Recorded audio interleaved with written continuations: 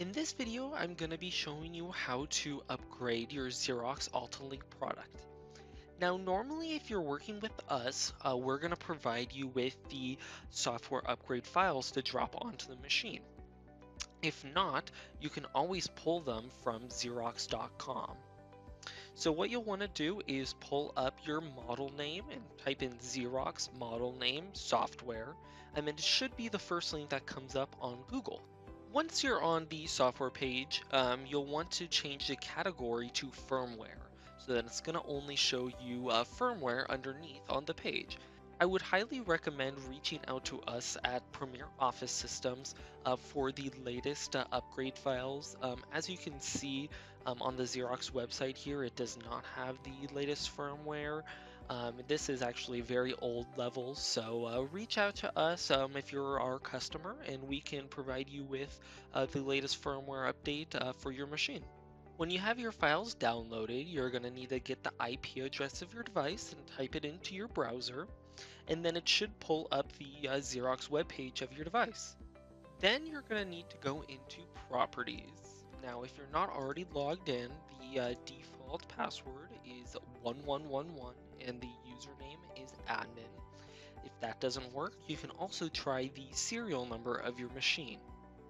Once you're into properties, you're going to need to go to Fleet Orchestrator, which is uh, pulled up by default, and then go to Create Install a File, and then select Install a File.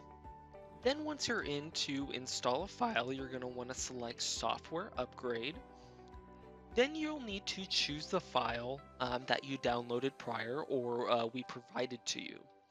Now, I also want to recommend that you check that where it says installation policy, that it says allowed. If not, you'll want to click allowed or not allowed and enable it, as you can see what I'm doing here.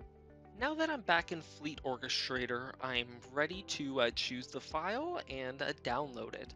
Now, depending on your model, now this is an Altalink, so on the Altalinks you'll have to do uh, two installation files, the first one is a patch, and the second one is a software upgrade.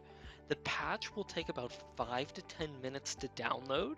So your machine, uh, once you hit choose file and hit install um, on the patch, as you'll see we'll do in a few minutes, um, it will shut down um, for about 10 minutes and then come back up.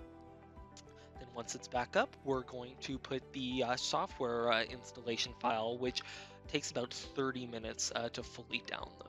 So you can see at the top of my files here, the patch is the shorter number one. So I'm going to select that and then hit install. Then the uh, machine will say it accepted the file and it will shut down for about 10 minutes and come back up. Once the patch is uh, fully done uh, installing onto the machine um, and it came back up, Go back into the IP address and go to Fleet Orchestrator. Same process we did before, but this time we're going to select the longer name file, the software upgrade file. So you're going to choose a file and hit install. Then it will be down for about 30 minutes, and once it's back up, your software upgrade should be complete.